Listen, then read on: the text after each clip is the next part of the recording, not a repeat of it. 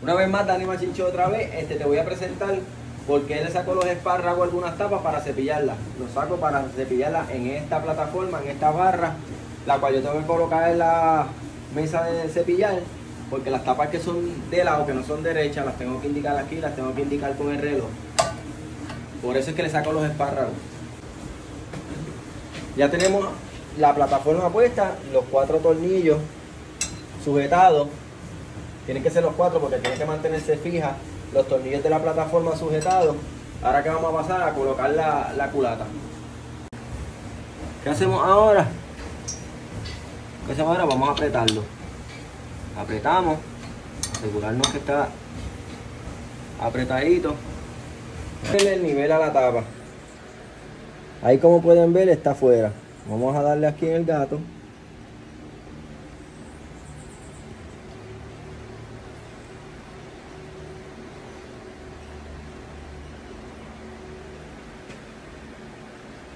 Ya la colocamos ahí.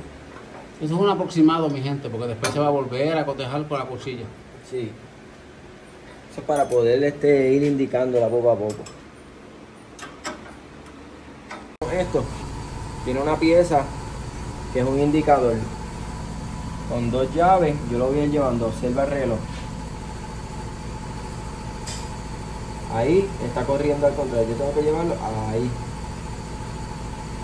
Ahí está en cero, pero yo no lo puedo dejar ahí porque allá en el otro lado no me va a quedar en cero. Tengo que dar, rodarle por lo menos unos 30 grados. Vamos a dejarlo allí. Vamos a apretar.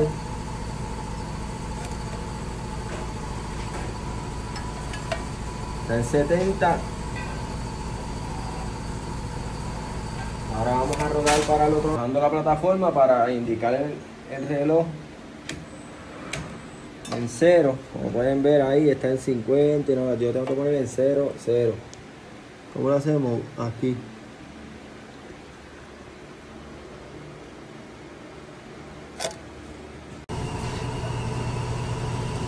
Ahora la otra, la otra parte de la culata, vamos a verificar a ver cómo está. ¿Ves? Yo la coloqué en cero allá. Pero aquí la aguja grande está en 35. Yo tengo que colocar este en cero también para ver, ir llevándola. Llevándola. Vamos a darle un poquito más, a ver, el 95 más o menos. Ahí. Vamos a darle. Ah, marco aquí, marco allá y ya. Y después marco que los dos estén igual y ya.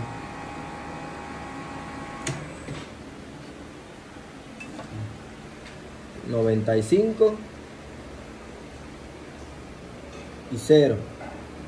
Vamos para el otro lado. Tiene que estar. Jalas el gancho y le das. No sé qué primero antes de poner. Esto lo edita.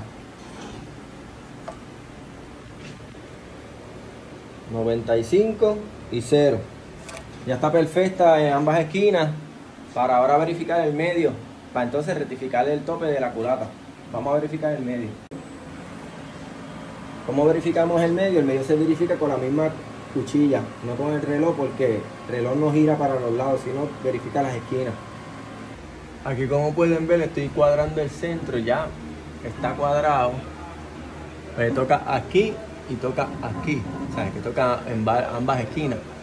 No toca el medio porque quiere decir que esta tapa se calentó mucho y está viradita. Pero ya, vamos a trabajarla. Como pueden ver, la cuchilla marcó, es rosadita por encima y yo me doy cuenta que está tocando la perfecta. ¿Ves? En el mismo medio.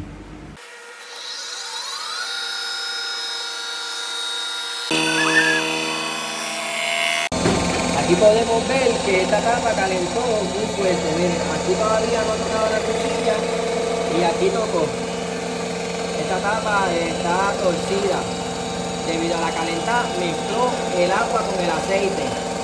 Y esto se le corrige. Nada, vamos a seguir hasta verlo hasta el final. Ya ahí podemos ver de que limpió el área donde no había tocado. Ahora falta que toque donde corre entre junta y junta.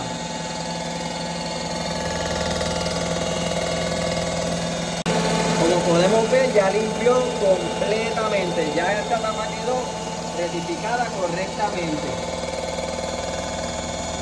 Miren, miren, nueva de show.